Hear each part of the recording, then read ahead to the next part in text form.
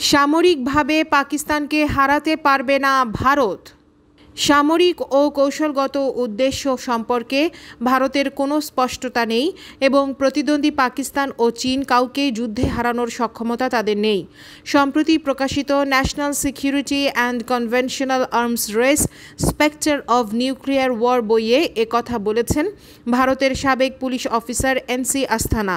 তিনি একজন সামরিক বিশেষজ্ঞ হিসেবেও প্রশংসিত হয়েছেন। প্রভাবশালী ভারতীয় সংবাদ মাধ্যম দ্য ওয়ার এনসি আস্থানার লেখা বইটি বইটির একটি পর্যালোচনা প্রকাশ করেছে। বইটিকে উদ্ধৃত করে তারা বলেছে, সামরিকবাদী কর্মকর্তা এবং মিডিয়ায় প্রকাশিত তথ্যের মধ্যে বিশাল অমিল রয়েছে।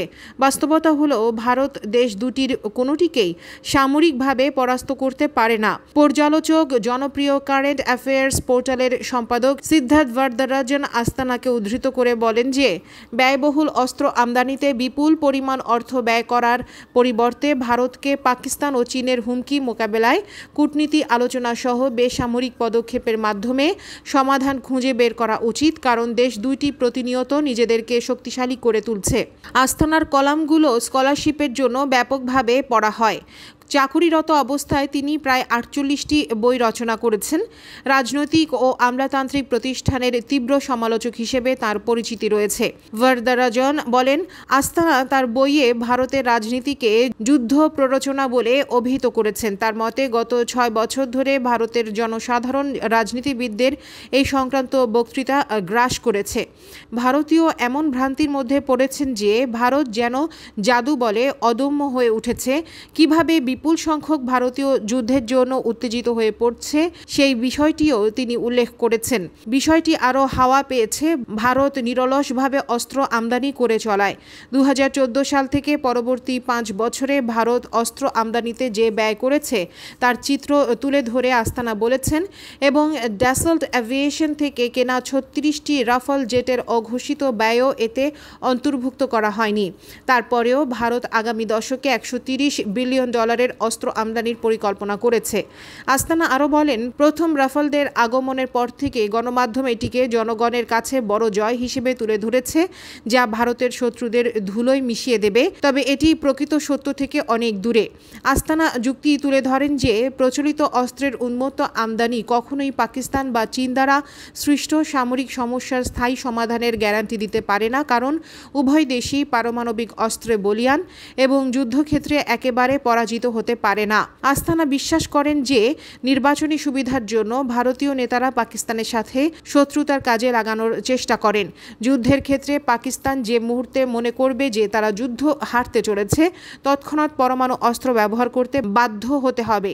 এটি উনিশশো একাত্তর নয় দু সালে পাকিস্তানের কৌশলগত কমান্ডের প্রধান জেনারেল খালিদ কিদওয়াই ইতালীয় অস্ত্র নিয়ন্ত্রণ সংস্থার এক প্রতিনিধিকে দেশের লাল রেখার বিষয়ে কি বলেছিলেন তা মনে করুন। ওয়ার রিভিউয়ে বলা হয়, জেনারেল কিদওয়াইকে বলেছিলেন যে, যদি রাষ্ট্র হিসেবে পাকিস্তানের অস্তিত্বই ঝুঁকিতে থাকে, তবে পারমাণবিক অস্ত্র ব্যবহার করা হবে। আস্তানা জেনারেল কিদওয়াইয়ের লাল রেখার সংক্ষিপ্ত সার এইভাবে জানিয়েছে, পারমাণবিক অস্ত্র কেবলমাত্র ভারতবর্ষের দিকে তাক করা, যদি ডিটারেন্স ব্যর্থ হয়, তবে সেগুলি ব্যবহার করা হবে। যদি ভারত পাকিস্তান আক্রমণ করে এবং তার ভূখণ্ডের একটি বৃহৎ অংশ জয় করে নেয়, ভারত তার স্থল বা বিমান বাহিনীর এর একটি বড় অংশকে ধ্বংস করে দেয়।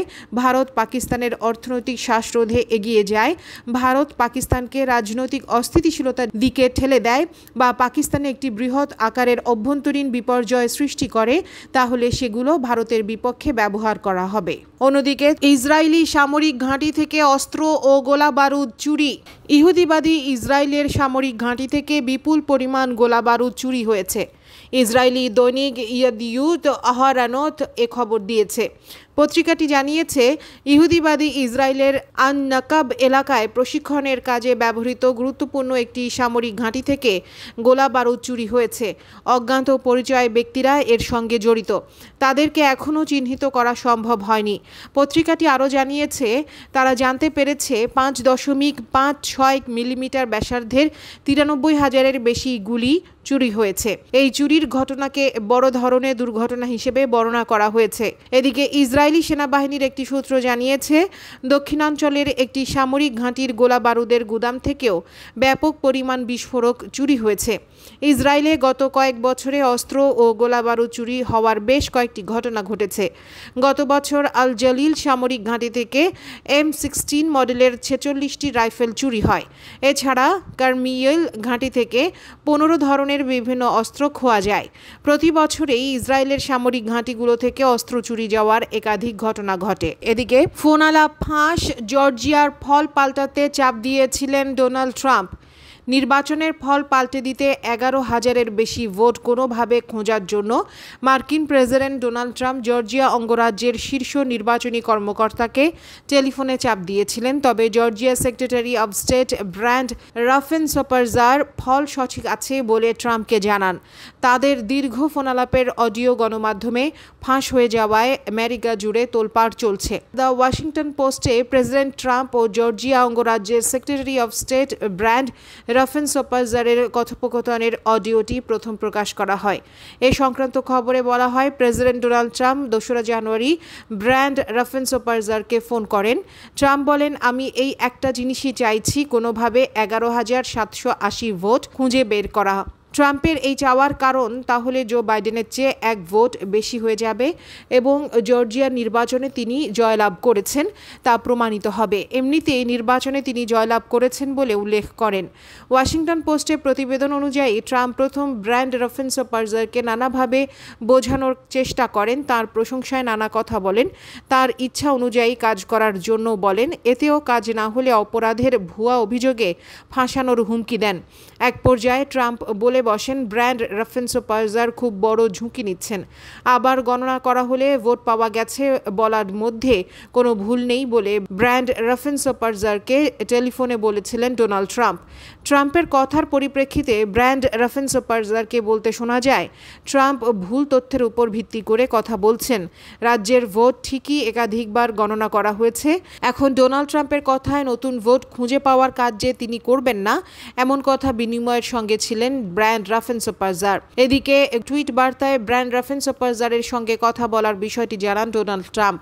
কিন্তু ট্রাম্পের ভাষ্য, ব্র্যান্ড রাফেন সোপারজার নির্বাচন সংক্রান্ত জালিয়াতি নিয়ে কোনো কথা বলতে রাজি হননি।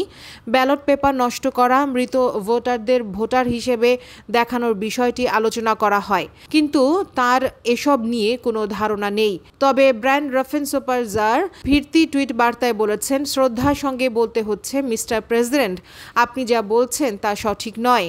সত্য বেরিয়ে আসবে। ডিয়ার ভিউয়ার্স আমাদের চ্যানেলের নিউজটি যদি আপনাদের ভালো লেগে থাকে, তবে আমাদের চ্যানেলকে সাবস্ক্রাইব করুন এবং আপনাদের বন্ধুদেরকেও সাবস্ক্রাইব করতে উৎসাহী করুন। নতুন নতুন নিউজ জানার জন্য আমাদের চ্যানেলের সাথেই থাকুন। ধন্যবাদ।